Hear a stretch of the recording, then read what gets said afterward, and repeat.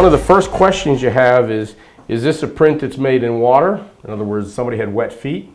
Or is this a print that's made in dust? Somebody walked in, stepped, had some dust when they came in from the outside, or came from another room and brought it with them. And the, way you determine, there's two ways of determining that. One, and probably the best method, is using an electrostatic lifter to lift it. What you're going to do, what you do is you create an electrostatic charge the electro on a piece of mylar film, and the electrostatic charge will attract the dust particles and pull it up off the ground off the floor onto the, the film backing. So the Mylar film has a foil on one side for conducting electricity and it has a black side on the other side for lifting of the print. Okay, so we take our electrostatic lifter out and what we're going to do is lift this print over here. So we set up our electrostatic lifter. This gets plugged into the front. Can't, there's only one way it can go in. And you generally want to have your electrostatic lifter in the same plane or close to it as that the print's going to be on. Ah. The next thing we want to do is to cut off a piece of the mylar, foil-backed mylar to about the same size as the a little bit larger than the fingerprint, I mean the footprint. And you guys are tired, huh? Just me. Just you. You're actually going to cut off two pieces. One, there's two of you, huh? And we'll cut off another piece which is about an inch or so, two inches wide. That becomes our ground. Oops.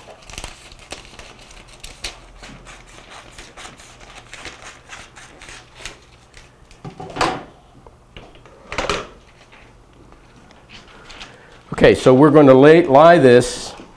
We had this finger. Somebody get a flashlight and shine it on that so I see what I'm doing here. That's a pretty thick.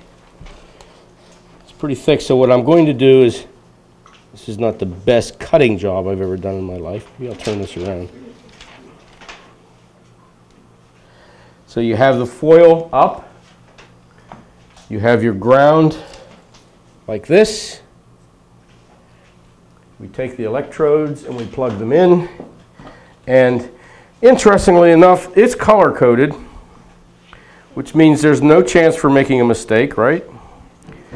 And even if you did, you couldn't plug them in the wrong one anyway, which is nice to know. I'm assuming this is going to plug in there. Yes, there you go. That plugs into the yellow slot. The orange or red goes into the red slot. We'll put this over here like this. Uh, I think I want this like this. And the yellow is for the ground. The red is for the for the mylar film itself. So we turn this on to max. This is set on high. And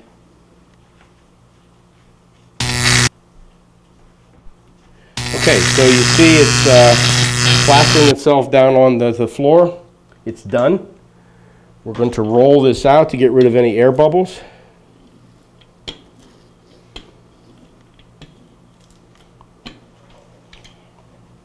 And do it once more, just to make sure we've got everything.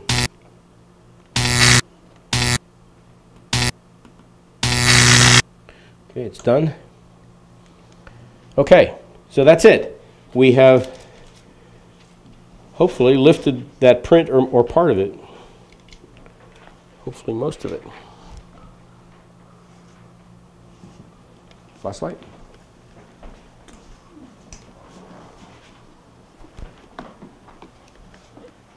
Okay. Pretty cool, huh? Yeah. Now, the electrostatic lifter can be used on almost any surface. Can be used on a, on a rug. If you can find the, the dust print on a rug, you can lift it. Somebody kicks in a door and leaves a print on a door, you can lift it. Somebody steps on a windowsill coming in, you can use it. uh, piece of paper, newspaper, magazine, any kind of a surface basically is amenable to it, but you need to make sure you have a dust print. You will not be able to lift using electrostatic lifter a print that is made with water. In other words, you've had wet feet, now it's dry. But that's how you tell the difference. You try to lift it with the electrostatic lifter and it won't lift. That tells you something about the properties of it, right? Okay.